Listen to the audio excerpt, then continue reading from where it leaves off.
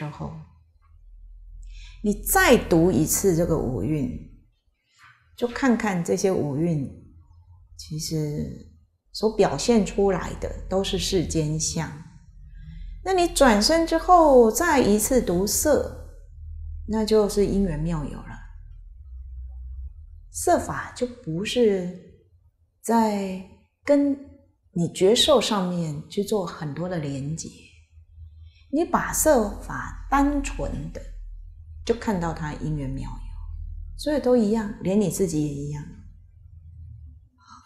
那受呢，就是清净正受，痛也是清净正受，所以一切都是清净正受。那想呢？就是要如理作意，以上的这个因缘妙有、清净正受，也是如理作意啊。所以就是要如理作意，行的话随缘菩提行，那事的话就转世成智了。